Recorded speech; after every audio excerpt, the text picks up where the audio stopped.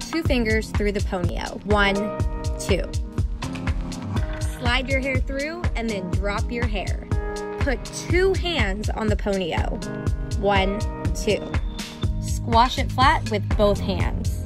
Bend the two corners individually with both of your thumbs. One, two.